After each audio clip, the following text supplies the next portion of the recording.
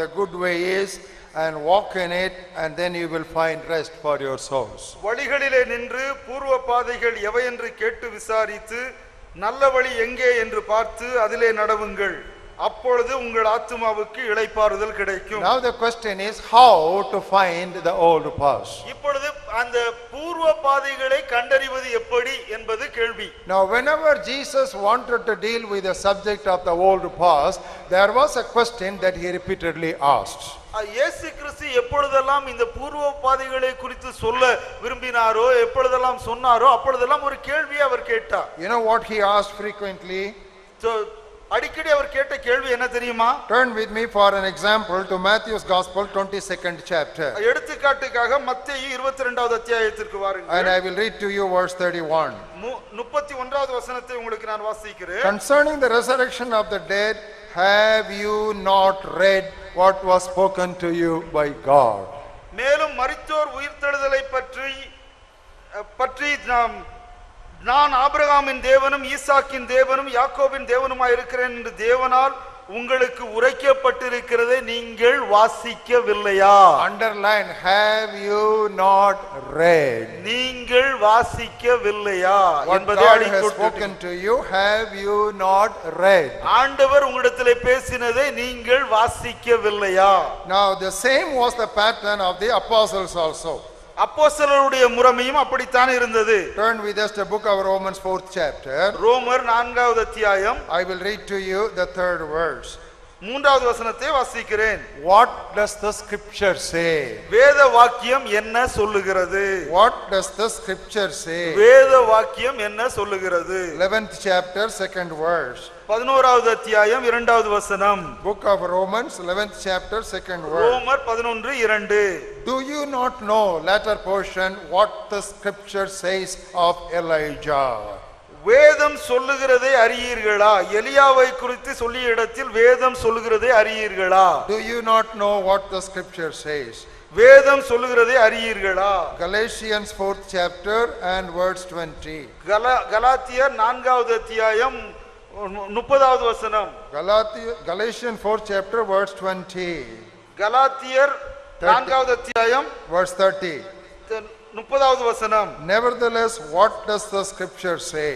அதை குறித்து வேதம் என்ன சொல்லுகிறது So both Jesus and his followers, the apostles, whenever they wanted to deal with a fundamental subject, their first question was, what does the Bible say? இயேசு கிறிஸ்துவும் சரி அல்லது அப்போஸ்தலர்களும் சரி அடிப்படையான உபதேசத்தை குறித்து சொல்ல விரும்புகிற பொழுதெல்லாம் அவர்கள் கேட்கிற பிரதானமான கேள்வி வேதம் என்ன சொல்லுகிறது In other words, in our pursuit of the old past, our first source is to go to the scriptures. நாம் பூர்வ பாதைகளுக்கு திரும்ப முயற்சிக்கிற இந்த முயற்சியிலே நாம் எடுக்க வேண்டிய முதல் படி என்னவென்றால் வேத வாக்கியங்களுக்கு நாம் திரும்ப வேண்டும் I am going to deliver to you, God willing, God enabling, six talks during these three days. இந்த மூன்று நாட்களிலும் தேவனுக்கு சித்தமானால் நான் ஆறு செய்திகளை உங்கள் மத்தியிலே பகிர்ந்து கொள்ள விரும்புகிறேன் So my, my first talk is what is titled as the old path of the scriptures. இந்த முதல் செய்திக்கு நான் கொடுத்திருக்கிற தலைப்பு திருவசனம் என்னும் பூர்வ பாதைகள் What I spoke to you during the last one hour was by way of introduction. நான் இப்ப கடந்த ஒரு மணி நேரம் பேசினது அது ஒரு முகவுரை But now we are getting into the body of our study. நம்முடைய ப- நாம் படிக்கிறதனுடைய முக்கிய காரியத்திற்கு நாம் இப்பொழுது வருகிறோம் So the title of the first talk is Old Path of the Scriptures. பூர்வம் சாரி திருவசனம் என்னும் பூர்வ பாதைகள் என்பதுதான் நம்முடைய தலைப்பு You know why I say that?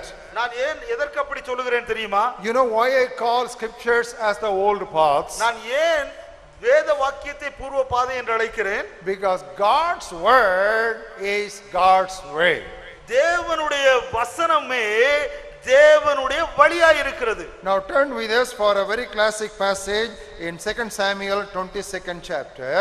ரெண்டு- சாமுவேல் இருபத்தி ரெண்டாவது வசனத்தில் இருபத்தி ரெண்டாவது அத்தியாயத்தில் ஒரு வசனத்தை வாசிப்போம் I want to read to you the 31st verse. முப்பத்தி ஓராவது வசனத்தை வாசிக்க விரும்புகிறேன் As for God, his way is perfect. தேவனுடைய வழி உத்தமமானது The very next sentence says, The word of the Lord is proven. அடுத்த அடுத்த வாக்கியமே சொல்லுகிறது கர்த்தருடைய வசனம் புடமிடப்பட்டது In other words, the word of the Lord is the way of God. தேவனுடைய வசனமே தேவனுடைய வழியாகும் That is why we say old past means nothing but the scriptures. ஆகவேதான் பூர்வ பாதைகள் என்றால் அது தேவனுடைய வசனமே Now that is what uh, psalmist also has frequently mentioned, especially in Psalm 119. சங்கீதக்காரனும் அதைத்தான் சங்கீதம் நூற்றி பத்தொன்பதுல திரும்ப திரும்ப சொல்லுகிறார் Look at the 52nd word. ஐம்பத்தி ரெண்டாவது வசனத்தை வாசிப்போம் I remembered your judgments of old, O Lord. கர்த்தாவே ஆதி முதலான உமது நியாய தீர்ப்புகளை நான் நினைத்து என்னை தேற்றுகிறேன் Underline judgments of old. Beautiful translation in Tamil. Judgment, they don't simply say palaya, they say adi mudalana. So beautiful. Judgments of old.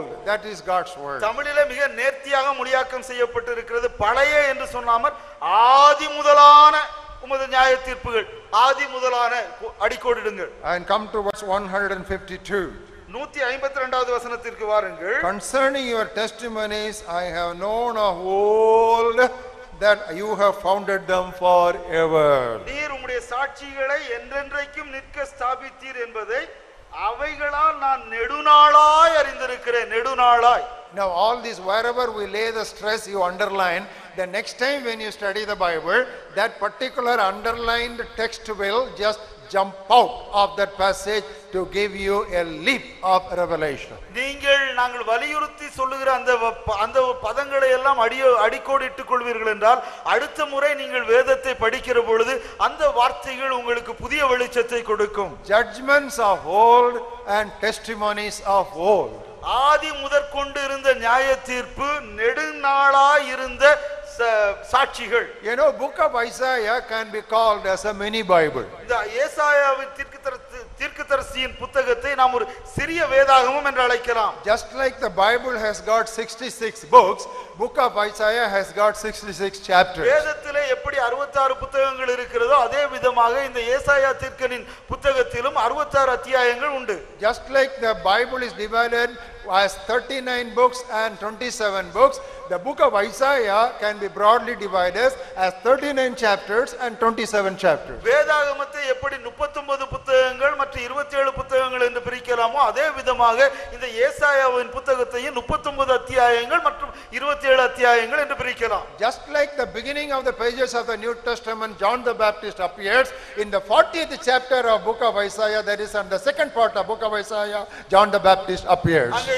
எப்படி நாம் புதிய ஏற்பாட்டிலே யோவான் ஸ்நானகர் எழும்புகிறதை பார்க்கிறோமோ அதே போல இங்க நாற்பதாவது அத்தியாயத்திலே அங்கே திடீரென்று யோவான் ஸ்நானகன் எழும்புகிறதை பார்க்கிறோம் He comes as a voice crying in the wilderness. அங்கே வனாந்தரத்திலே கூப்பிடுகிறவருடைய சத்தத்தை நாம் பார்க்கிறோம் Turn your Bibles to book of Isaiah, 40th chapter. ஏசாயா நாற்பதாவது அத்தியாயம் And I want to look at that passage so beautifully, it begins the pages of the New Testament. இங்க புதிய ஏற்பாட்டு பக்கங்கள் இங்கே மிக அழகாக ஆரம்பிக்கப்படுகிறதை பார்க்கலாம் Look at the third verse.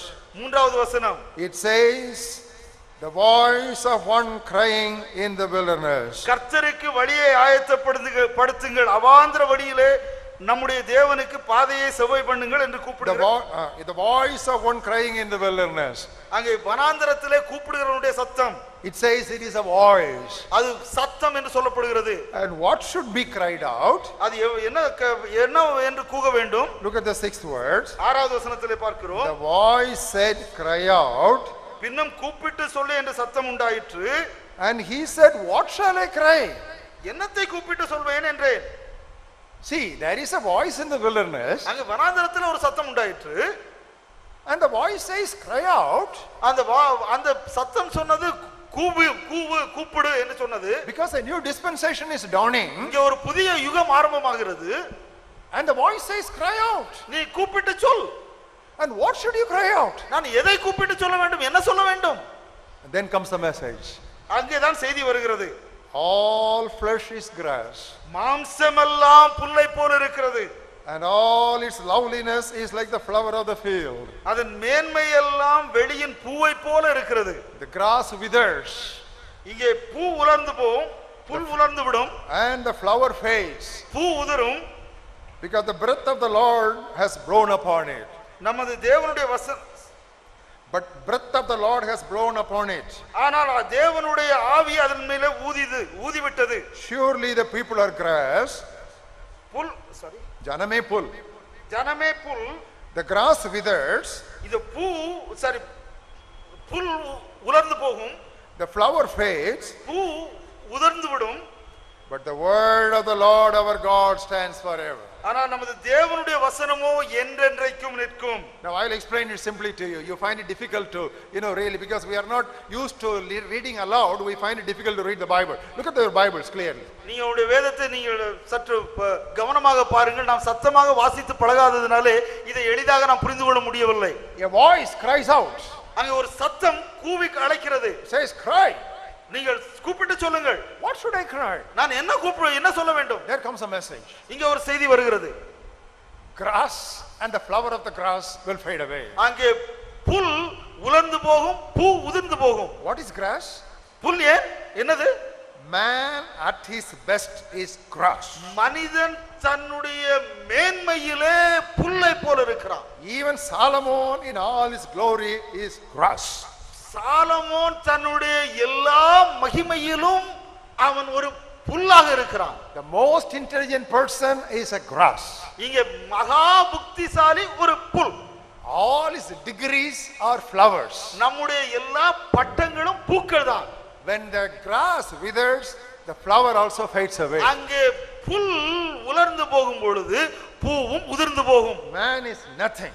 மனிதன் எந்த கணக்குக்கு இல்லாதவன் But ஆனால் the word of the Lord endures forever. ஆனால் தேவனுடைய வார்த்தையோ என்றென்றும் நிற்கும் This is the main message for this new dispensation. இந்த ஒரு புதிய யுகத்திற்கு இருக்கிற மிக முக்கியமான செய்தி இதுதான் This is a voice that is crying in the wilderness. வராந்தரத்திலே கூப்பிடுகிறவனுடைய சத்தம் இதைத்தான் சொல்லுகிறது Apostle Peter understood it.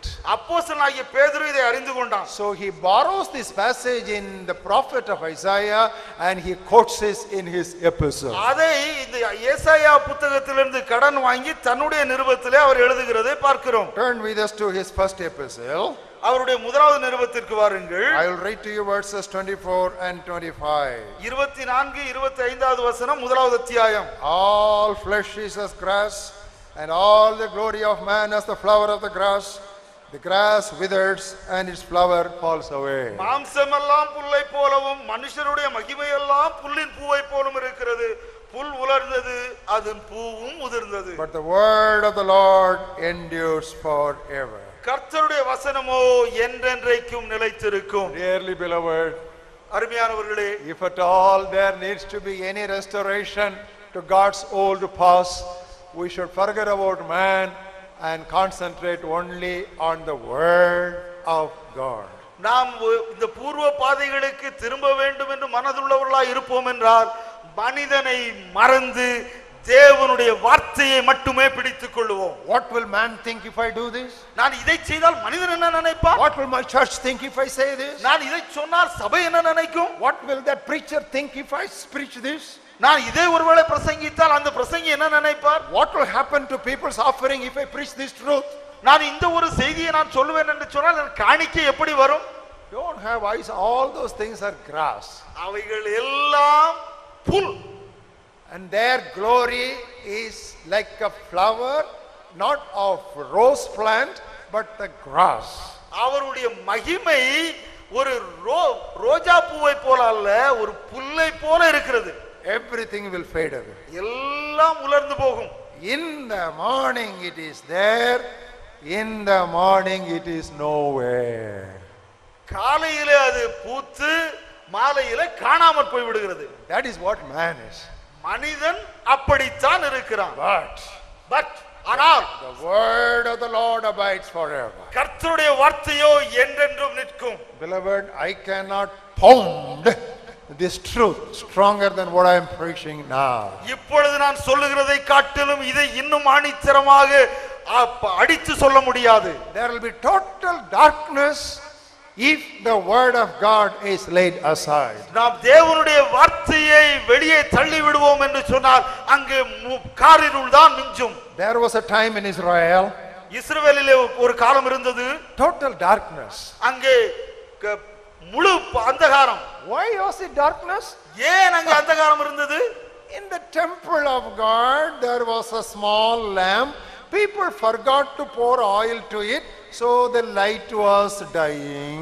அங்க தேவாலயத்திலே ஒரு சிறிய விளக்கு இருந்தது அந்த விளக்கிற்கு எண்ணெய் ஊற்ற மக்கள் மறந்து போனார்கள் அதனால வெளிச்சம் மங்கிக் கொண்டிருந்தது An old man was watching there. அங்கே ஒரு ஒரு வயதான மனிதன் அதை பார்த்து கொண்டிருந்தான் Bright light or dim light made no difference for his cataract eyes. அவனு ஒருவேளை அது பிரகாசமான விளக்காக இருக்கட்டும் அல்லது மங்கின விளக்காக இருக்கட்டும் அங்க மங்கின கண்ணுக்கு எந்த விதமான வித்தியாசமும் இல்லை my Bible says the sight of Eli was growing dim. இங்க எலியாவினுடைய கண்கள் மங்கிக் கொண்டிருந்தது என்று என்னுடைய வேதம் சொல்லுகிறது So people forgot to pour oil into the lamp. அந்த விளக்குக்கு எண்ணெய் ஊற்ற மக்கள் மறந்து போனார்கள் The priest never bothered about this because he himself was suffering from cataract. ஆசாரியனும் அதை குறித்து கவலை கொ- கொள்ளவில்லை ஏனென்று சொன்னால் இப்பொழுதே அவருக்கு கேட்ராக்ட் வந்து விட்டது The word of the Lord was rare those days. அந்த நாட்களிலே கர்த்தருடைய வார்த்தை தேவனுடைய வசனம் அபூர்வமாய் இருந்தது At that time, அந்த நேரத்தில் as a representative of the remnant, God took a small boy by name Samuel. அந்த நாட்களிலே மீதியானவனுடைய மீதியானவருடைய பிரதிநிதியாகிய அந்த சிறிய மனிதனாகிய சாரி சிறிய பிள்ளையாகிய அந்த சாமுவேலை தேவன் தெரிந்தெடுத்தார் Why did God choose Samuel? சாமுவேலை ஏன் தேவன் தெரிந்தெடுத்தார் Not to use him as a mighty prophet of the people of Israel, அங்கே இஸ்ரவேல் மக்களுக்கு ஒரு பெரிய தீர்க்கதரிசியாக பயன்படுத்தல Turn with me to First Peter, third chapter. First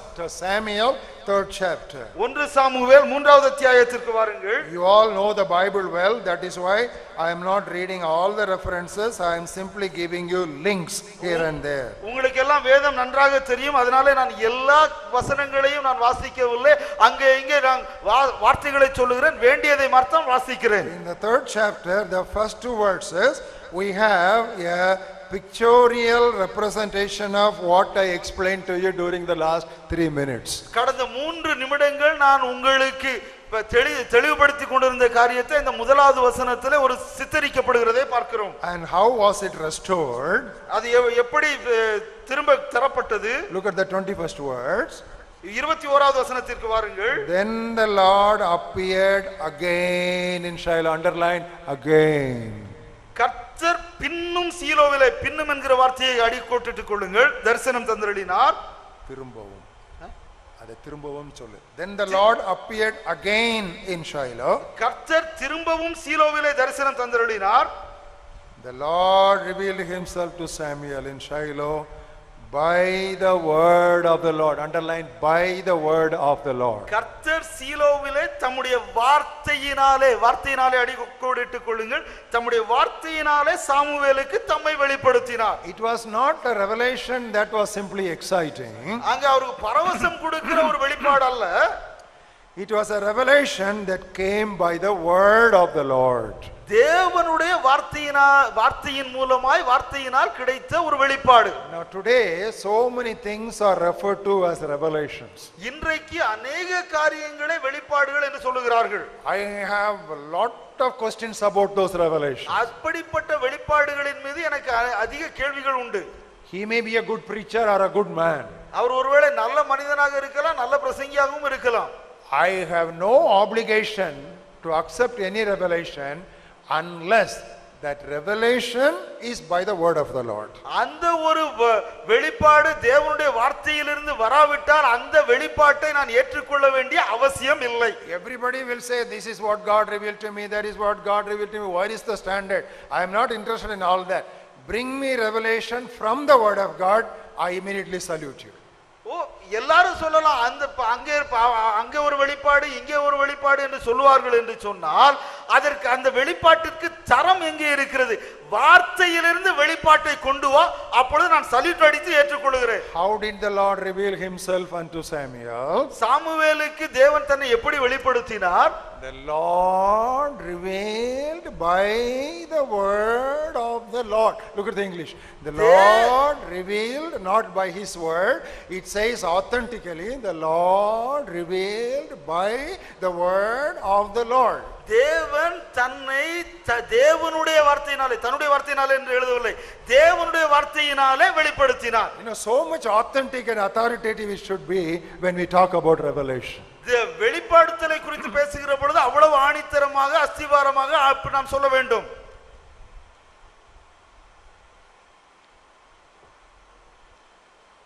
Another illustration I will not take to the verses. I will let you to find the verses, but I will give you the story. இன்னொரு எடுத்துக்காட்டை நான் உங்களுக்கு சொல்ல விரும்புகிறேன் வசனத்தை உங்களுக்கு நான் குறிப்பிட்டு சொல்லுவதில்லை அந்த அந்த சம்பவத்தை நான் உங்களுக்கு சொல்லுகிறேன் There was a very small boy like Samuel. சாமுவேலை போல ஒரு சின்ன பையன் His name was Joshua. அவனுடைய பெயர் யோசியா He was not even 10 years old. அவனுக்கு பத்து வயசு கூட ஆகல He was only 8 years. அவனுக்கு எட்டு வயசு தான் I cannot think and imagine how a 8 year old boy could become a king. ஆனால் ஒரு எட்டு வயது சிறுவன் எப்படி ஒரு அரசனாக முடியும் என்று நான் கற்பனை செய்து பார்க்க But முடியவில்லை my Bible says Joshua became king when he was 8 years old. ஆனால் என்னுடைய வேதம் சொல்லுகிறது எட்டு வயது இருக்கும் பொழுது யோசியா அரசனானான் என்று சொல்லப்படுகிறது But something very interesting happened in his அங்கே time. சுவராசியமான ஒரு காரியம் நடைபெறுகிறது He asked the people to cleanse the temple. அவர் அந்த ஆலயத்தை சுத்திகரிக்கும்படியாய் கட்டளை இடுகிறார் They all started uh, sweeping and brooming and mobbing the temple. அங்கே அந்த ப- தேவாலயத்தை அவர்கள் சிலர் பெருக்கினார்கள் சிலர் கழுவினார்கள் அப்படி சுத்திகரிக்க ஆரம்பித்தார்கள் Suddenly, from a corner, there was somebody who shouted, Hey, hallelujah! அங்கே ஒரு மூலையில இருந்து ஒருவர் விதமாக ஹோய் அல்லேலூயா என்று கற்ற சத்தமிட்டார் What happened? என்ன நடந்தது He said, I have found the Bible.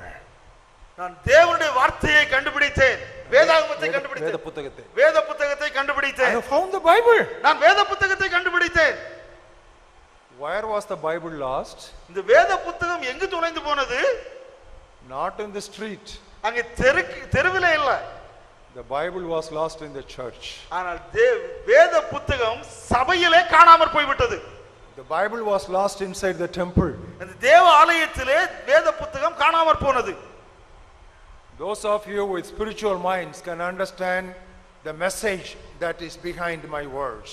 இந்த ஆன்மீக சிந்தை உள்ளவர்கள் இந்த வார்த்தைக்கு முன்னா பின்னாக இருக்கிற என்னுடைய செய்தியை அறிந்து கொள்வீர்கள் Sacrifices were going on.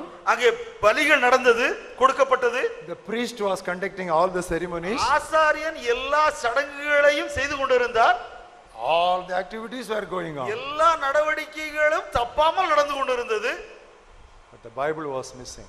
ஆனால் அங்கே வேத புத்தகத்திற்கு இடமில்லை It was lost. அது காணாமற் போய்விட்டது தொலைந்து போய்விட்டது They suddenly found the Bible in the temple. வே- தேவாலயத்திலே வேத புத்தகத்தை கண்டெடுத்தார்கள் And the eight year old boy, what did he say? அந்த எட்டு வயது பையன் என்ன சொன்னான் தெரியுமா Maybe he would have become a teenager by then. அப்பொழுது அவன் ஒருவேளை டீனேஜ் உள்ளவனா இருக்கலாம் Bring the Bible. அந்த வேதாகமத்தை கொண்டு வாருங்கள் Read the Bible for. அந்த வேத புத்தகத்தை எனக்கு வாசியுங்கள் When they read the Bible, அவர்கள் அந்த வேத புத்தகத்தை வாசித்த பொழுது you know what the king did? அந்த அரசன் என்ன செய்தான் தெரியுமா He tore his clothes. தன்னுடைய வஸ்திரங்களை உடைகளை கிழித்துக் கொண்டான் He was so deeply convicted. அவன் அவ்வளவு- அவ்வளவாக உணர்த்தப்பட்டான் Why did all these problems come upon us? இப்படிப்பட்ட பிரச்சனைகள் எல்லாம் ஏன் நம்ம மேல் வந்தது Because we have lost the word. ஏன் என்று சொன்னால் நாம் தேவனுடைய வார்த்தையை தொலைத்து விட்டோம் He tore his clothes. தன்னுடைய வஸ்திரங்களை கிழித்துக் கொண்டான் No prophet told him to tear his clothes. எந்த ஒரு தீர்க்கதரிசியும் அவன் தன்னுடைய வஸ்திரத்தை கிழிக்க வேண்டும் என்று அவனுக்கு சொல்லவில்லை He was not confronted with a sin.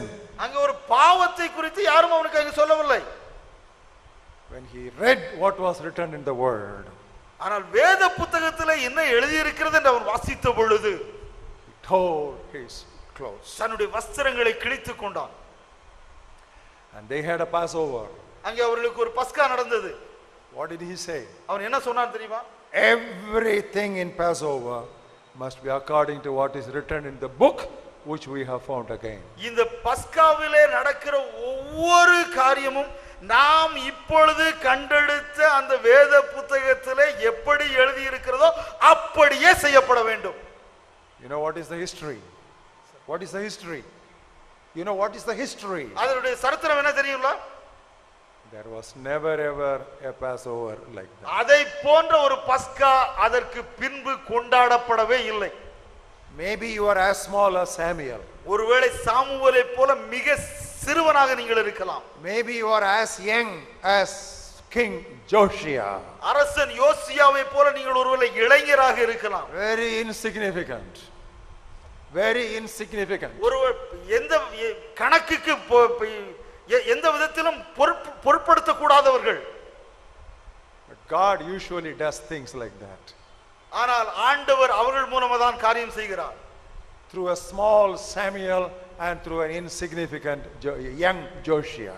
ஒரு சிறுவனாகிய சாமுவேல் மூலம் மூலமாகவும் இளைஞனாகிய யோசுவா மூலமாகவும் கர்த்தர் பெரிய காரியங்களை செய்கிறார் If the Church of Jesus Christ worldwide and nationwide should come back to the old paths of the scriptures, you, you as an individual, should give yourself to the study of God's word afresh with a greater intensity and seriousness and find out what God really wants us to do.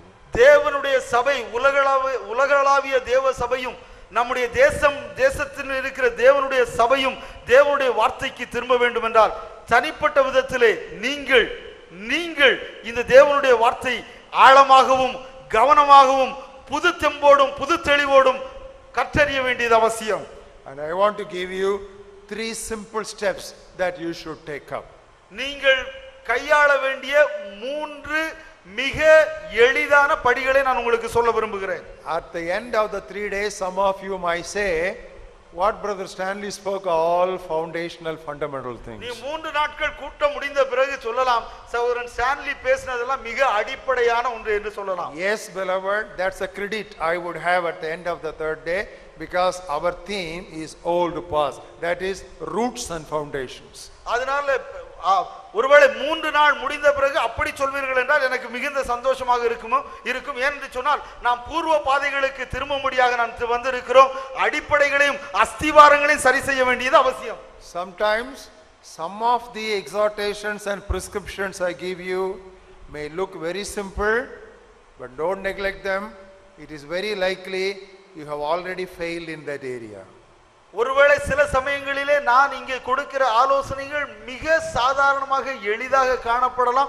தயவு செய்து அதை இப்ப நீங்கள் புறக்கணிக்காதிருங்கள். ஏ- நீங்கள் புறப்பணிக்கீரு புறப்படிப்பீர்கள் என்றால் ஏற்கனவே நீங்கள் அந்த காரியத்திலே தோற்று போனீர்கள் என்ற அர்த்தம். Step number one. முதலாவது படி. Read the Bible voraciously. ஓயாது வேத புத்தகத்தை வாசியுங்கள் Read the Bible voraciously. ஓயாது வேத புத்தகத்தை வாசியுங்கள் Read the Bible again and again, back and forth, front to le- back and back to front, whichever way you can. நாம் வேத புத்தகத்தை முதலிலிருந்து கடைசி வரைக்கும் அல்லது கடைசியிலிருந்து முதல் வரைக்கும் எப்படி நாம் விரும்புகிறோமோ அப்படியெல்லாம் திரும்ப திரும்ப நாம் படிக்க வேண்டும் Turn with me to a very interesting exercise in book of Nehemiah. நெகேமியா புத்தகத்திலே அங்க இருக்கிற ஒரு நல்ல ஒரு பயிற்சியை நாம் பார்க்கிறோம் Book of Nehemiah and book of Ezra are books of restoration. நெகேமியாவின் புத்தகமும் எஸ்ராவின் புத்தகமும் சீர்திருத்தத்தின் புத்தகங்கள் God used Ezra and Nehemiah in restoration. இங்க இப்ப நெகேமியா மற்றும் எஸ்ராவை தேவன் இந்த சீர்திருத்தத்திற்காக பயன்படுத்தினார் Turn with me to the 8th chapter of Nehemiah and look at the 18th verse. நெகேமியா எட்டாவது அத்தியாயம் பதினெட்டாவது வசனம் Day by day, from the first day until the last day, he read from the book of the law of God. முதலாம் நாள் தொடங்கி கடைசி நாள் மட்டும் தினம் தினம் தேவனுடைய நியாயப்பிரமாண புஸ்தகம் வாசிக்கப்பட்டது We talk about so many marathon, நாம் அநேக நெடுந்தூர ஓட்டங்களை குறித்து பேசுகிறோம் and this marathon is a very common word as we are approaching the Commonwealth Games in New Delhi. இங்க காமன்வெல்த் கே விளையாட்டு நடைபெ- நடைபெறுகிற இந்த நாளிலே இந்த அஹ், நெடுந்தூர ஓட்டம் என்பது மிக சாதாரணமாக நாம் பேசிக் கொள்கிற ஒரு And வார்த்தை here we read about a Bible marathon. இங்கே ஒரு வேத புத்தகத்தின் வேதாகம நெடு ஓட்டத்தை நாம் பார்க்கிறோம் From the first day till the eighth day, that is how they calculated one week. Saturday to Saturday was Jewish calculation of one week.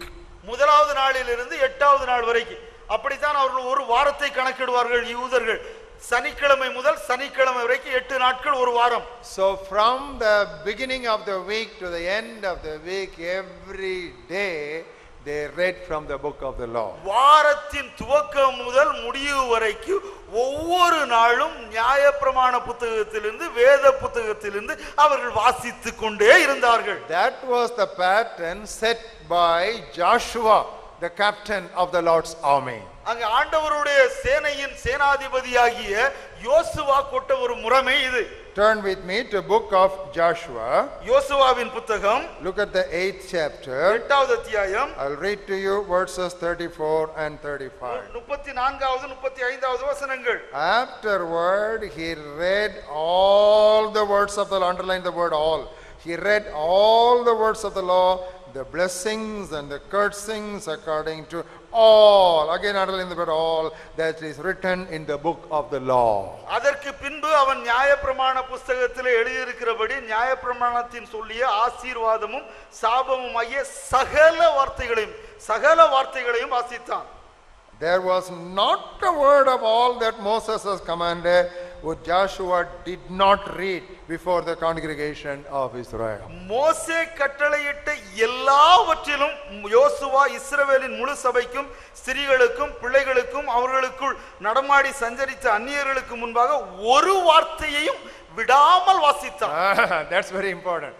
It says he read all the words. அவன் எல்லா வார்த்தைகளையும் வாசித்தான் என்று சொல்லுகிறது That is good enough. That's a good English. அது போதும் But he goes one step further to put it in the negative to add emphasis. இன்னும் இன்னும் ஒரு படி முன் சென்று ஒரு வார்த்தையும் விடாமல் என்று சொல்லுகிறார் Not a word he left out from all that was written.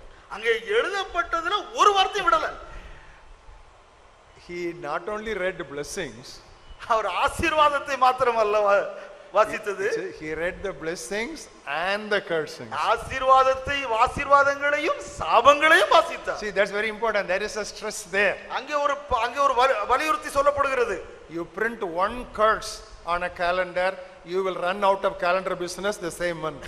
உங்களுடைய கேலண்டர்ல ஒரு சாப வார்த்தை எழுதி விடுங்கள் அவ்வளவுதான் உங்களுக்கு விற்கவே விற்காது But from today I will bless you. Don't worry what will happen. From today I will bless you. That calendar will sell like hotcakes. இந்த நாள் முதல் உன்னை ஆசீர்வதிப்பேன் என்னது எப்படி போனாலும் சரி நீ எப்படி இருந்தாலும் சரி உன்னை ஆசீர்வதிப்பேன் சொல்லி எழுதிட்டா போதும் அதுதான் அதிகமாய் விற்கப்படும் calendar There is an imbalance in Christendom. அங்கே ஒரு சமநிலைமை இல்லை That is why here the Bible says, not only the blessings he read, but also the cursings. Not one word he left out. Every word he read legibly and loudly to the people. அதனால்தான் வேதம் சொல்லுகிறது அவன் வெறும் ஆசீர்வாதத்தை மாத்திரமல்ல சாபத்தையும் வாசித்தான். ஒரு வார்த்தையும் விடாமல் எல்லா வார்த்தையும் சத்தமாக தெளிவாக வாசித்தான். And he says he read it to the men, அது புருஷர்களுக்கு வாசித்தான் he read it to the women, ஸ்திரீகளுக்கு வாசித்தான் he read it to the children, அவர் பிள்ளைகளுக்கும் வாசித்தான் and he read it to the visitors, the அங்கே வந்து strangers. அந்நியர்களுக்கும் வாசித்தான் So, beloved, in the Word of God, everything is sufficiently taught to us. We have failed to only notice them. வே- வே- தேவனுடைய வார்த்தையிலே எல்லாம் போதுமான அளவிற்கு நமக்கு போதிக்கப்பட்டு இருக்கிறது அதை நாம் கவனிக்கத்தான் தவறிவிட்டோம் That is why when Paul wrote to Timothy, ஆகவேதான் பவுல் தீமோத்தேயுக்கு எழுதுகிற பொழுது 2 Timothy, third chapter, ரெண்டு தீமோத்தேயு மூன்றாவது அத்தியாயம் what was the exhortation he specifically gave him? அவனுக்கு கொடுத்த மிக தெளிவான ஒரு குறிப்பான ஒரு புத்திமதி என்ன 16th words. பதினாறாவது வசனம் All scripture is given by the inspiration of God. வேத வாக்கியங்கள் எல்லாம் தேவாவியினாலே அருளப்பட்டு இருக்கிறது Underline all, not a some portion here and some portion there. All scripture is given by the inspiration of God. எல்லாம் வேத வாக்கியங்கள் எல்லாம் அங்க கொஞ்சம் இங்க கொஞ்சம் என்றால வேத வாக்கியங்கள் எல்லாம் எல்லாம் என்பதை அடிக்கோடிட்டுக் கொள்ளுங்கள் எல்லாம் தேவனுடைய ஆவியினாலே அருளப்பட்டு இருக்கிறது You, Timothy, you have known the scriptures from your childhood. தீமோத்தேயு உனக்கு சிறு வயது முதல் வேத வார்த்தை தெரியும் Keep on reading it அது தொடர்ந்து வாசித்துக் கொண்டே இரு until you reach the mature manhood. நீர் பக்குவம் அடைந்த முதிர்ச்சியான ஒரு மனிதனாக ஆ- ப- ஆகும் வரைக்கும் நீ வாசித்துக் கொண்டிரு 15th word speaks about childhood, 17th word speaks about manhood. அங்க பதினைந்தாவது வத- வசனம் சிறுவயதை குறித்து பேசுகிறது பதினேழாவது வசனம் முதிர்ச்சி அடைந்த மனிதனை குறித்து பேசுகிறது 15th word speaks about salvation, 17th word speaks about service. பதினைந்தாவது வசனம் ரட்சிப்பை குறித்து பேசுகிறது பதினேழாவது வசனம் ஊழியத்தை குறித்து பேசுகிறது From childhood to manhood, சிறுவயது முதல் முதிர்ச்சி வரைக்கும் from salvation to fruitful service. ஒரு ரட்சிப்பின் முதல் அங்கே ஊழியம் வரைக்கும் Beloved, whether you have calendar of any sort or not, please buy a Bible reading calendar. உங்களுக்கு எந்த விதமான கேலண்டர் இருக்கோ நாட்காட்டி இருக்கிறதோ எனக்கு தெரியாது ஆனால் தயவு செய்து எல்லாரும் ஒரு வேத வாசிப்பு அட்டவணையை கேலண்டரை கண்டிப்பாக வாங்கி வைத்துக் கொள்ளுங்கள் There are so many varieties of Bible reading calendars. Some plans you read the entire Bible in one year, other plans you take two years to complete the Bible. விதவிதமான வேத வாசிப்பு அட்டவணைகள் இருக்கிறது சில சில அட்டவணையில் அட்டவணையிலே நீங்கள் வேதாகமத்தை இரண்டு ஆண்டிலே ஒரு முறை வாசித்து முடிக்கலாம் சில அட்டவணையிலே ஆண்டிற்கு ஒரு முறை நீங்கள் வேதத்தை வாசிக்கலாம் And when you read the Bible, make sure not a single word is left out. நீங்கள் வேதத்தை வாசிக்கிற பொழுது ஒரு சின்ன வார்த்தையும் தப்ப விடாது பார்த்துக் கொள்ளுங்கள் And I want to teach you some important principle now. உங்களுக்கு ஒரு நல்ல காரியத்தை நான் ஆலோசனை சொல்ல விரும்புகிறேன் Whenever possible, read the Bible aloud. உங்களுக்கு முடியும் பொழுதெல்லாம் நீங்கள் தயவு செய்து சத்தமாய் வாசியுங்கள் Ah, if you cannot read the Bible aloud in the home, please get out of your home, go to a park or go to a forest, go to a wood, go to a lonely place and read the Bible aloud. ஒருவேளை உங்களுடைய வீட்டிலே நீங்கள் சத்தமாக வாசிக்க முடியவில்லை என்று சொன்னால் ஏதோ ஒரு திறந்த வெளிக்கோ காட்டிற்கோ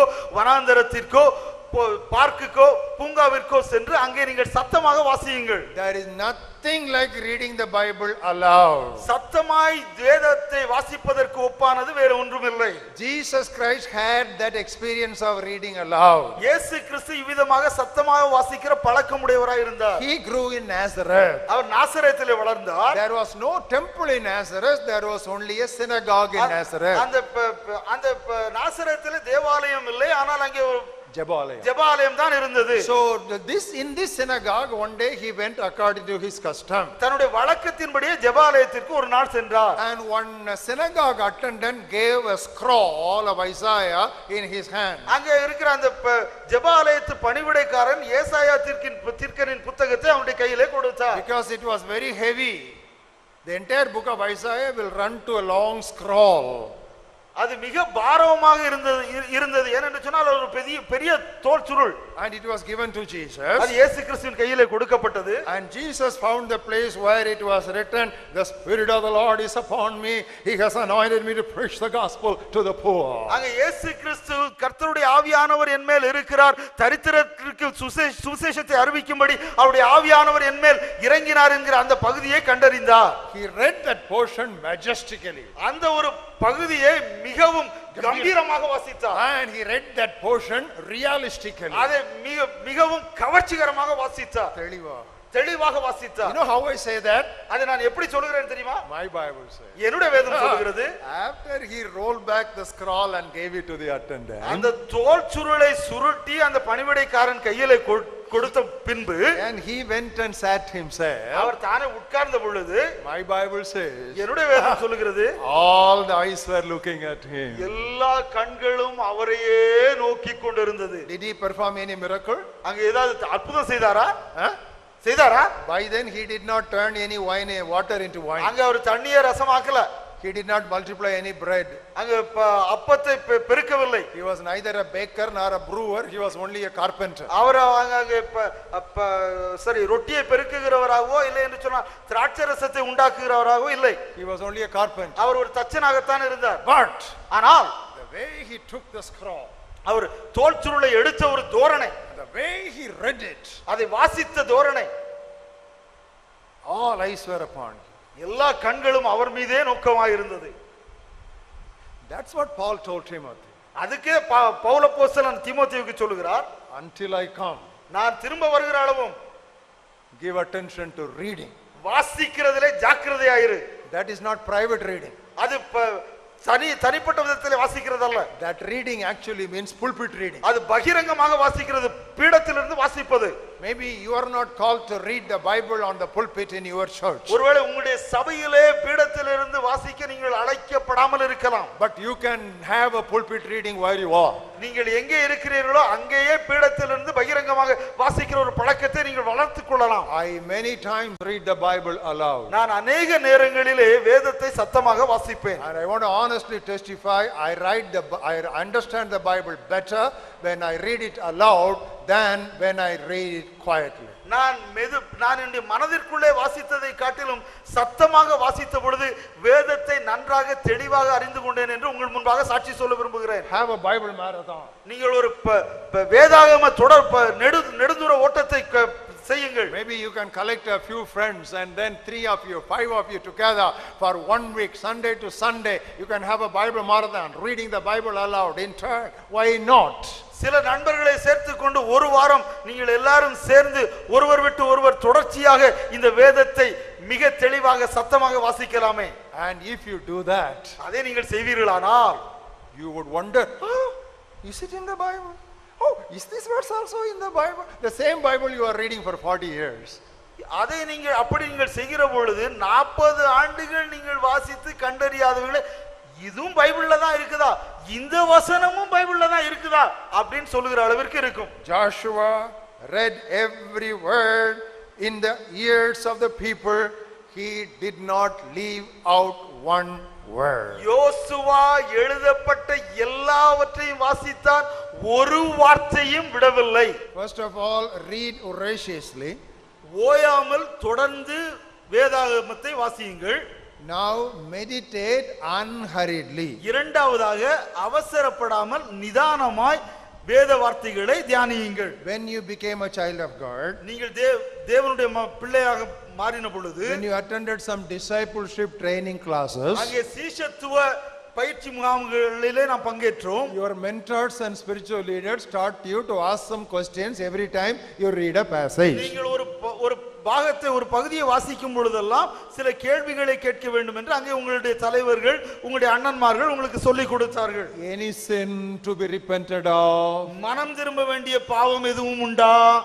Any warning to taken heed of, கவனிக்க வேண்டிய எச்சரிப்பு எதுவும் உண்டா any promise to embrace, அணைத்துக் கொள்ள வேண்டிய வாக்கு தத்தம் எதுவும் உண்டா any example to emulate, பின்பற்ற வேண்டிய மாதிரி எதுவும் உண்டா any guidance to follow, பின்பற்ற வேண்டிய நடத்துதல் எதுவும் உண்டா any duty to be fulfilled. நிறைவேற்ற வேண்டிய கடமை அல்லது பொறு- பொறுப்பு ஏதாவது உண்டா Same old questions asked again. These days we are not asking those questions. அந்த நாட்களில இந்த கேள்வியை அதிகமாக கேட்டுக்கொண்டிருந்தோம் ஆனால் இன்றைக்கு அதை நாம் மறந்து விட்டோம் Why don't we ask those questions? ஏன் அப்படிப்பட்ட கேள்வியை நாம் இன்றைக்கு கேட்பதில்லை We have no time.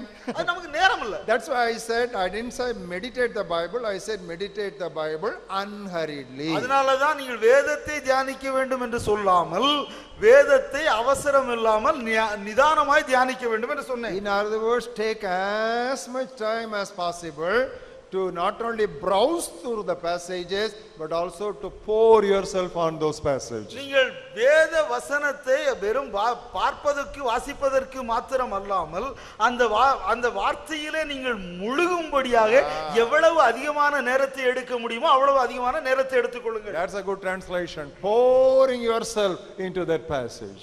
அந்த அந்த பகுதியிலே நீங்கள் முழுகி போக வேண்டும் And as you meditate the Bible, நீங்கள் வேதத்தை தியானிக்கிற பொழுது you should always keep a Bible notebook with you. எப்பொழுதுமே ஒரு வேத குறிப்பேடு உங்கள் உங்களுடன் இருக்க வேண்டும் I am not trying to turn the camera to your side, so don't worry.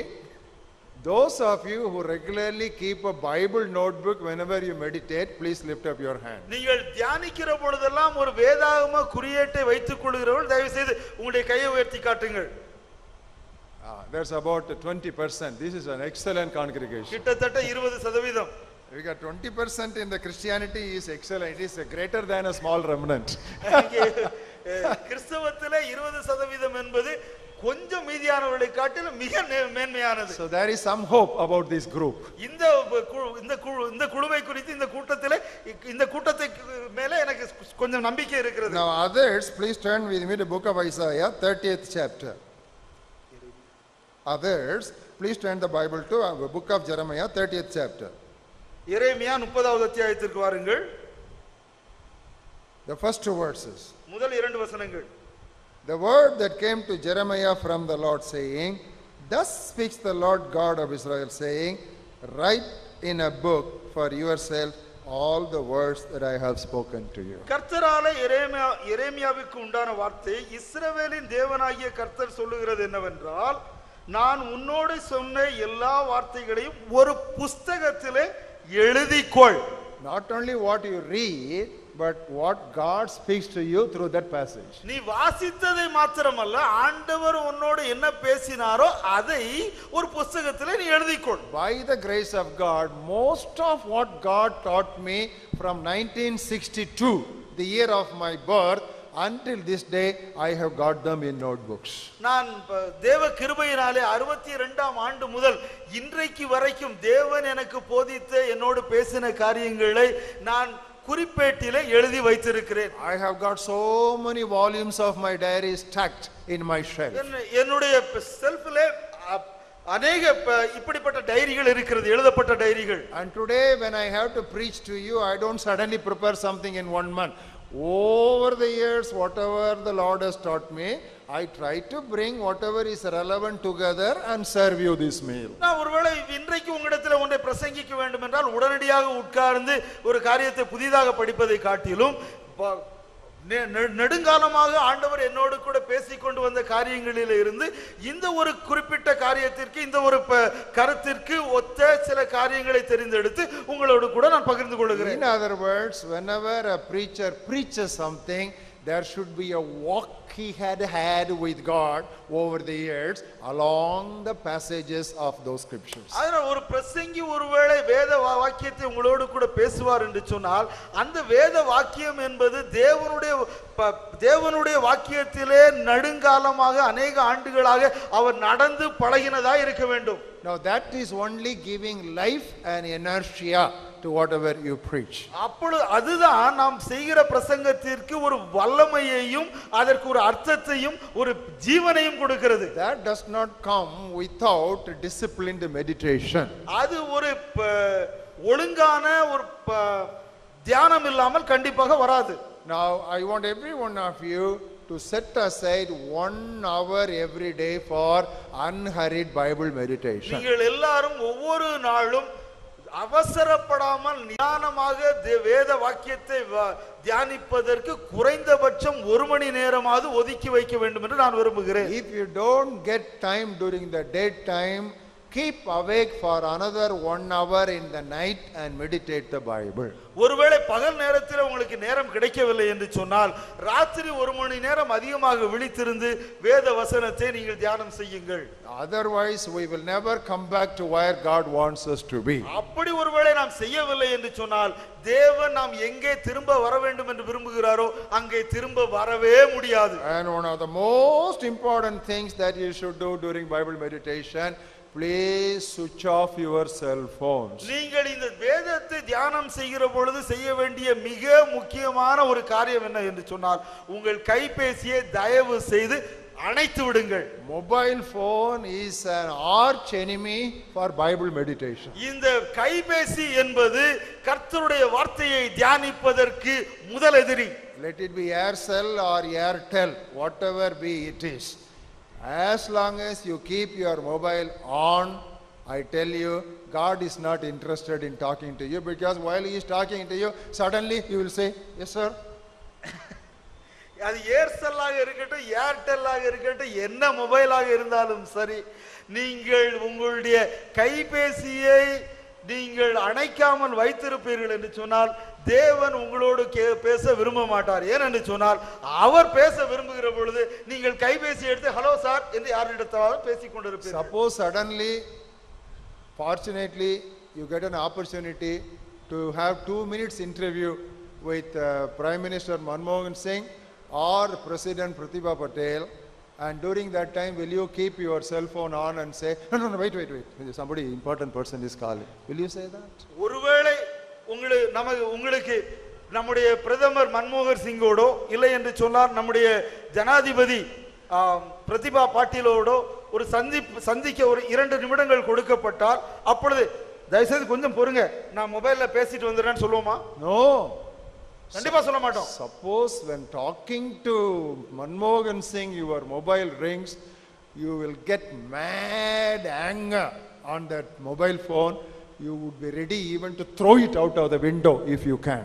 ஒருவேளை மன்மோகன் மன்மோகன் சிங்கோடு கூட நீங்கள் பேசிக் கொண்டு இருக்கிற பொழுது உங்களுடைய மொபைல் மணி அடித்தால் அந்த மொபைல் மீது உங்களுக்கு எவ்வளவு கோபம் வரும் தெரியுமா முடியுமானால் ஜன்னல் வழியா இதை வெளியே தூக்கி எறிந்து விடுவீர்கள்? ஏன் Who is talking to you? யார் உங்களோடு கூட பேசுகிறார் That's important. அது முக்கியம் I am talk. I am taking Sunday class for you this morning. உங்களுக்கு நான் ஒரு ஞாயிறு பள்ளி நடத்துகிறேன் this ஓய்வு நாள் பள்ளி But this is a foundation. ஆனால் இதுதான் அஸ்திவாரம் My Bible asks the foundations are shaken. What shall the righteous do? அஸ்திவாரங்கள் அழ- நிர்மூலமா- அசையுமானால்- நிர்மூலமாகிறது. அ- அஸ்திவாரங்கள் நிர்மூலமானால் நீதிமான் என்ன செய்வான் These are days when foundations are shaken. இன்றைக்கு அஸ்திவாரங்கள் நிர்மூலமாய் கொண்டிருக்கிறது So please spend one hour every day, if not during the daytime, at least in the midnight hours, தயவு to செய்து unhurriedly meditate your plain Bible with your mobile switched off. தயவு செய்து ஒவ்வொரு நாளும் ஒருவேளை பகலிலே முடியாவிட்டால் ராத்திரியாவது ஒரு மணி நேரம் எந்த விதமான அவசரமும் இல்லாமல் நிதானமாக தேவனுடைய வேதத்தை தியானியுங்கள் தயவு செய்து உங்களுடைய மொபைலை சுவிட்ச் ஆஃப் பண்ணி விடுங்கள் Thirdly, மூன்றாவதாக memorize delightfully. நீங்கள் மகிழ்ச்சியாய் மனனம் செய்யுங்கள் Memorize delightfully. மகிழ்ச்சியாய் மனனம் செய்யுங்கள் There is a beautiful passage which most of us are familiar with, that is book of Deuteronomy, chapter 11. நமக்கு எல்லாருக்கும் மிக தெரிந்த ஒரு அழகான ஒரு பகுதி உண்டு உபாகமம் பதினோராவது அத்தியாயம் I will read to you from verses 18 to 20. பதினெட்டாவது வசனம் முதல் இருபதாவது வசனம் வரை You shall lay up these words of mine in your heart and in your soul, and bind them as a sign on your hand, and they shall be as frontlets between your eyes. Yes. நீங்கள் என் வார்த்தைகளை உங்கள் இருதயத்திலும் உங்கள் ஆத்துமாவிலும் பதித்து அவைகள் sorry தமிழில் பத்தொன்பதாவது வசனம் நீங்கள் என் வார்த்தைகளை உங்கள் இருதயத்திலும் உங்கள் ஆத்துமாவிலும் பதித்து அவைகளை உங்கள் கையின் மேல் அடையாளமாக கட்டி உங்கள் கண்களின் நடுவே ஞாபகக்குறியாக வையுங்கள் Now, eh, this is very simply meaning memorize the passages. இதெல்லாம் மிக எளிதாக சொல்வது என்று சொன்னால் வேத வாக்கியங்களை மனனம் செய்யுங்கள் You shall teach them to your children, speaking of them when you sit in your house, and you walk by the way, when you lie down, and when you rise up. அவைகளை உங்கள் பிள்ளைகளுக்கு உபதேசித்து நீங்கள் வீட்டில் உட்கார்ந்திருக்கிற போதும் வழியிலே நடக்கிற போதும் படுத்துக் கொள்கிற போதும் எழுந்திருக்கிற போதும் அவைகளை குறித்து பேசுவீர்களாக And you shall write them on the doorposts of your house and on your gates. அவைகளை உங்கள் வீட்டு நிலைகளிலும் உங்கள் வாசல்களிலும் எழுதுவீர்களாக I want to say a few words here practically. இங்கே நான் சில வார்த்தைகளை உங்களோடு சொல்ல விரும்புகிறேன் Those days, I'm talking about 20, 30 years ago, in most of the Christian homes, they had family Bible memorization habits. இரு இருபது முப்பது ஆண்டுகளுக்கு முன்பாக அந்த காலத்திலே கிறிஸ்தவ குடும்பங்களிலே வேதத்தை தியானம் செய்கிற ஒரு பழக்கம் இருந்தது சரி குடும்பமாக வேதத்தை மனனம் செய்கிற ஒரு பழக்கம் இருந்தது How did they do it? அதை எப்படி செய்தார்கள் Those days, there was one calendar that was a very famous calendar. அந்த காலத்திலே மிக பிரபலியமான ஒரு கேலண்டர் இருந்தது The name of that calendar is Golden Text Calendar. அந்த கேலண்டருடைய பெயர் தங்க வாக்கிய calendar Every day morning, they will read the text that is given under that particular day's number. They will memorize it. Children should memorize it and tell it to their parents before they go to school. ஒவ்வொரு நாளும் அந்த நாளுக்கு கீழே அந்த தேதிக்கு கீழே கொடுக்கப்பட்டிருக்கிற அந்த வசனத்தை அவர்கள் வாசித்து அதை மனனம் செய்வார்கள் அந்த வீட்டில் இருக்கிற பிள்ளைகள் பள்ளிக்கு போவதற்கு முன்பதாக அதை ஒப்பு ஒப்புவித்து ஆமே அதற்கு பின்பாக போக வேண்டும் And in the night during family prayer, every member of the family should recite that small brief Bible text of that golden text calendar. மா ராத்திரியிலே குடும்ப குடும்ப ஜபத்தில் உட்காருகிற பொழுது எல்லாருமே அந்த தங்க வாக்கிய கேலண்டரில் படித்து அந்த வசனத்தை திரும்ப சொல்ல வேண்டும் today we have got golden text calendar silver text calendar brass text calendar tin text calendar all types of calendar The end is we don't use any calendar. இன்றைக்கு நமக்கு தங்க வசன கேலண்டர் வெள்ளி வசன கேலண்டர் இரும்பு கேலண்டர் தாமரை calendar எல்லா கேலண்டரும் இருக்கு ஆனா அந்த வசனங்களை தான் நாம் பயன்படுத்துவதில்லை Because calendar promoters are interested, calendar producers are interested in promotional techniques rather than making God's people to memorize the scriptures. இன்றைக்கு இந்த கேலண்டர்களை உற்பத்தி செய்கிற உற்பத்தி உற்பத்தியாளர்கள் சரி கேலண்டர் வியாபாரிகள் அதை எப்படி அதிகமாக விற்க முடியும் என்பதிலே கவனம் செலுத்துகிறார்கள் செலுத்துகிறதுனாலே இன்றைக்கு யாரும் அந்த வசனத்தை மனனம் செய்வதிலே கவனம் செலுத்துவதில்லை Today calendars have become promotional literature for their products. தங்களுடைய சரக்குகளுக்கு விளம்பரமாக அவைகள் மாறிவிடுகின்றன இன்றைக்கு கேலண்டர்கள் தங்களுடைய சரக்குகளுக்கு விளம்பரமாக மாறிவிட்டது those days, no, I am speaking with a lot of burden. நான் மிகுந்த பாரத்தோடு பேசுகிறேன் அந்த நாளிலே அந்த நாட்களிலே Most of the Bible verses I memorized from that Bi- golden text calendar that was produced by first Reverend Samuel, then Mrs. Samuel, his dear wife from Madras. அந்த நாட்களிலே நான் அந்த தங்க வாக்கிய கேலண்டரிலே படித்த வசனங்களை தான் இன்றைக்கு நான் அதிகமாக பயன்படுத்தினேன் அதிகமாக நான் படித்தேன் அது முதலாவதாக சென்னையிலிருந்து ரெவரன் மோ சாமியல். சாமியல் அவர்கள் அதை வெ- வெளியீடு செய்தார்கள் அதற்கு பின்பதாக அவருடைய மனைவியார் அதை வெளி வெளியிட்டார்கள் And after the year is over, you know what we will do? We'll cut those verses in small pieces and put them in a small bowl and we will keep it on the dining table. நாம் அந்த ஆண்டு முடிந்தவுடனே அந்த வசனங்களை எல்லாம் சின்ன துண்டுகளாக கத்தரித்து அதை ஒரு சின்ன டப்பாவில் போட்டு அந்த டைனிங் டேபிள்ல அதை வைத்திருப்போம் as and when possible, we'll pick them up and we'll read them and we'll remember we already memorized them. நாங்கள் ஒரு எப்பொழுதெல்லாம் நேரம் கிடைக்குமோ அப்பொழுது அதை அதுல ஒரு துண்டை எடுத்து அதை வாசித்து முன்பே நாங்கள் மனனம் செய்வதை திரும்ப நினைவுபடுத்திக் கொள்வோம் Similarly, there was a small, tiny magazine that was coming from Palangote by name Polier Nason. அதே போல அந்த நாட்களிலே பாளையங்கோட்டையிலிருந்து ஒரு சின்ன ஒரு பத்திரிகை வந்தது அதனுடைய பெயர் பாலியர் நேசன் And there also they used to give one memory verse for every day.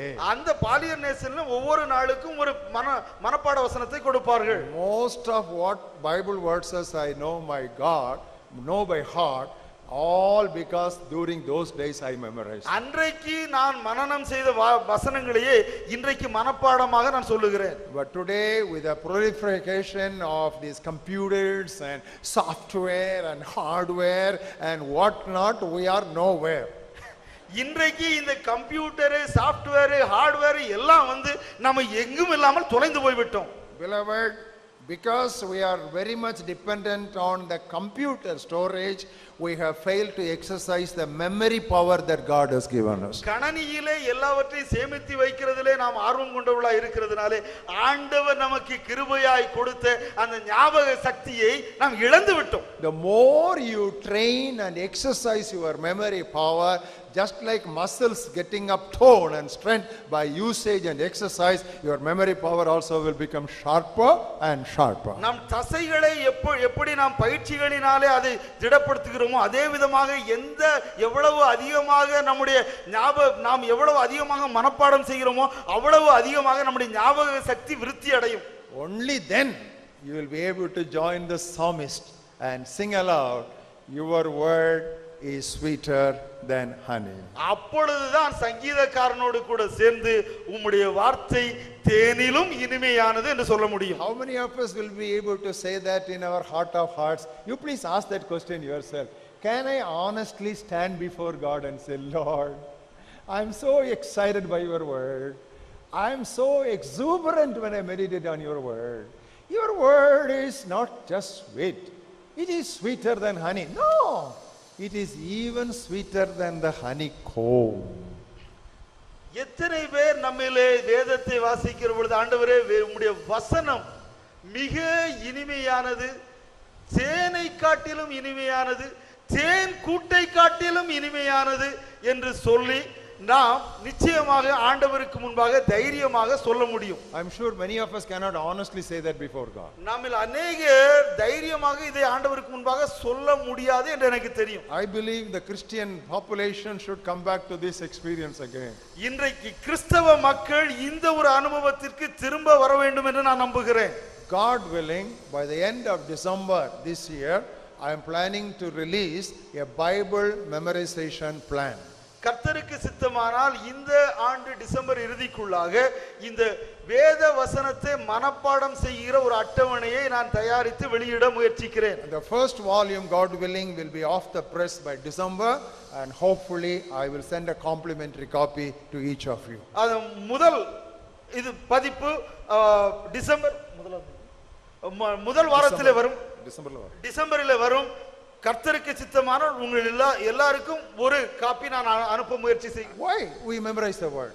நாம் ஏன் வேத வசனத்தை மனனம் செய்ய வேண்டும் Not to write a scripture examination and get a scripture prize. ஒரு வேத பாட பரீட்சை எழுதி அதுல ஒரு பரிசு பெற- பெறுவதற்கல்ல The psalmist said, I have hid your word in my heart that I may not sin against you. உமக்கு விரோதமாக பாவம் செய்யாதபடிக்கு உம்முடைய வார்த்தையை என்னுடைய இருதயத்திலே வைத்து வைத்தேன் என்று சங்கீதக்காரன் சொல்லுகிறான் I want to do your will, O God, your word is in my heart. ஆண்டவரே உம்முடைய சித்தத்தை செய்ய நான் விரும்புகிறேன் உம்முடைய வார்த்தை என்னுடைய இருதயத்திலே இருக்கிறது So we keep the word inside our heart, number one, to escape temptation, number two, to walk in God's ways.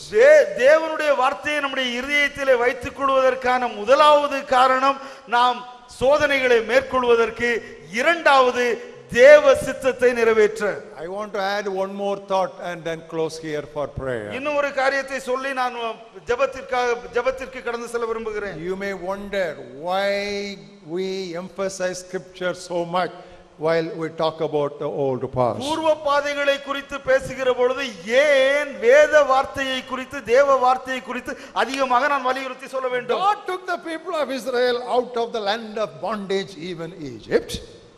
எகிப்தின் அடிமைத்தனத்திலிருந்து இஸ்ரவேல் மக்களை தேவன் விடுதலையாக்கி வெளியே கொண்டு வந்தார் It will take only 11 days to reach their destination. அவர்களுடைய அந்த கானான் தேசத்தை அடைவதற்கு பதினோரு நாட்கள் போதும் But God took them in a roundabout route which took 40 long years. ஆனால் ஆண்டவர் அவர்களை சுற்று வழியிலே எடுத்து சென்றார் அவர்கள் கானான் தேசம் அடைய நாற்பது ஆண்டுகள் ஆனது Why? ஏன் God wanted them to teach one important lesson. ஒரு முக்கியமான பாடத்தை ஆண்டவர் அவர்களுக்கு கற்றுக் கொடுக்க I முயற்சி took you for 40 years roundabout in this wilderness. இந்த வனாந்தரத்திலே நாற்பது ஆண்டுகள் உங்களை நான் அழைத்து சென்றேன் Why did I do that? ஏன் அதை செய்தேன் I wanted to teach you a lesson. உங்களுக்கு ஒரு பாடத்தை கற்றுக் கொடுக்க You know விரும்புகிறேன் what lesson I wanted to teach you? என்ன பாடம் தெரியுமா Man shall not live by bread alone, but by every word that proceeds out of the mouth of God. மனிதன் அப்பத்தினாலே மாத்திரமல்ல தேவனுடைய வாயிலிருந்து புறப்படுகிற ஒவ்வொரு வார்த்தையினாலும் பிழைப்பான் என்கிற அந்த வார்த்தை Just to teach that truth, God took them round and round for 40 years. You study your Bible and find out what I say is true or not. அந்த ஒரு சத்தியத்தை சொல்லிக் கொடுக்க அவர்களை சுற்றி சுற்றி நாற்பது ஆண்டுகள் வனாந்தரத்திலே தேவன் அழைத்து சென்றார் வேண்டுமென்றால் உங்களுடைய வேதாகமத்தை திறந்து பார்த்து நான் சொல்வது சரியா என்று Everybody talks about praise and worship these days. Praise the Lord for that. எல்லாரும் அங்கு தேவனை ஆராதிப்பதையும் துதிப்பதை குறித்தும் இன்றைக்கு அதிகமாக பேசுகிறார் நல்லதுதான் But what is the highest form of worship? ஆனால் மிக அதி உன்னதமான தே- ஆராதனை என்ன தெரியுமா with me to the book of Psalms and look at the 56th chapter. சங்கீதம் ஐம்பத்தி ஆறு And I will read to you verse 10. நான் பத்தாவது வசனத்தை உங்களுக்கு வாசிக்கிறேன் That's the highest form of worship. அதுதான் தேவனை ஆராதிப்பதிலே அதி உன்னத நிலைமை In God I will praise His word. தேவனை முன்னிட்டு அவருடைய வார்த்தையை புகழுவேன் In the Lord I will praise His word. கர்த்தரை முன்னிட்டு அவருடைய வார்த்தையை Did புகழுவேன் you ever come across this classic text? இந்த ஒரு நேர்த்தியான இந்த கருத்தாளமிக்க ஒரு வசனத்தை நீங்கள் என்றைக்காவது கவனமிட்டு பார்த்திருக்கிறீர்களா In God I will praise His word. தேவனை முன்னிட்டு அவருடைய வார்த்தையை புகழுவேன் In the Lord I will praise His word. கர்த்தரை முன்னிட்டு அவருடைய வார்த்தையை புகழுவேன் Brother, why do you go to the church? சகோதரன் எதுக்கு சர்ச்சுக்கு போறீங்க Why do you go to that church? நீங்கள் ஏன் அந்த சபைக்கு போகிறீர்கள் Sister, why do you go to that church? சகோதரியே ஏன் குறிப்பாக அந்த சபைக்கு போகிறீர்கள் Worship is good. அங்கே ஆராதனை நன்றாக இருக்கிறது It's good to go to a place where worship is good. ஆராதனை நன்றாக நன்றாக இருக்கிற இடத்திற்கு போவது நல்லதுதான் But there is something which is more important. ஆனா அதை காட்டிலும் மிக முக்கியமான ஒன்று உண்டு Hey, everybody is gone. எல்லாரும் போயிட்டாங்களே Only 12 are missing. Only st- st- 12 are remaining. ஒரு பன்னெண்டு பேர் மாத்திரம் தான் மீதி Would you also like to go? நீயும் போக மனதா இருக்கிறாயா Where shall we go? நாங்கள் எங்கே போகட்டும் You have the works of eternal life. உம்மிடத்திலே ஜீவ வார்த்தைகள் உண்டு So don't go to a church for worship. Go to a church where you get the word. ஆராதனை இருக்கிற சபைக்கு மாத்திரம் நீங்கள் போக வேண்டாம் எங்கே தேவ வார்த்தை இருக்கிறதோ அங்கே போங்க That which should keep people together is the central attraction of the word of God. நாம் மக்களை கவர்ந்து இழுப்பது தேவனுடைய வார்த்தையா இருக்க வேண்டும் Worship may lead us to excitement. அங்க ஒருவேளை ஆராதனை நம்ம ஒரு பரவசத்திற்கு நடத்தலாம் And sometimes overexcitement will become an entertainment. ஒருவேளை இந்த பரவசம் அதிகமாகிவிட்டால் அது பொழுதுபோக்காகவும் மாறலாம் But the word of the Lord is always for enlightenment. ஆனால் தேவனுடைய வார்த்தையோ எப்பொழுதும் நமக்கு மன தெளிவை கொடுக்கும் And it will always be for the edification of our inner man. நாம் எப்பொழுதுமே அதை நம்மை பக்குவத்திற்குள்ளாக நடத்தும் Shall we all close our eyes? நாம் எல்லாரும் நம்முடைய கண்களை மூடுவோமா Close your Bibles. உங்களுடைய வேதத்தை மூடுங்கள் Kneel down where you are. நீங்கள் எங்கே இருக்கிறீர்களோ அங்கு முழங்காற்படியிடுங்கள் If you have some arthritis problem or some problem, some stiffness problem, or if you are an older person, I don't mind. Otherwise, if you can, please do kneel down. ஒருவேளை arthritis இல்லை என்ற எது- எந்த விதமான உடல்நிலை குறை இருக்கும் என்றால் நீங்கள் உட்காரலாம் இல்லை என்று சொன்னால் முடியுமானால் எல்லாரும் தயவு செய்து முழங்காற்படியிடுங்கள் This is a retreat. இது ஒரு ஒடுக்க கூட்டம் This is not a time to just to hear something and go off with our ஏதோ- ஏதோ notes, ஒன்றை notes கேட்டு. நம்முடைய நோட்டு புத்தகத்தில் எழுதி கொண்டு போகிற ஒரு கூட்டம் அல்ல இது All eyes closed, எல்லாரும் கண்களை மூடுவோம் heads bowed down, தலைகளை தாழ்த்துவோம் and hearts lifted up. நம்முடைய இருதயங்களை தேவனுக்கு நேராக உயர்த்துவோம்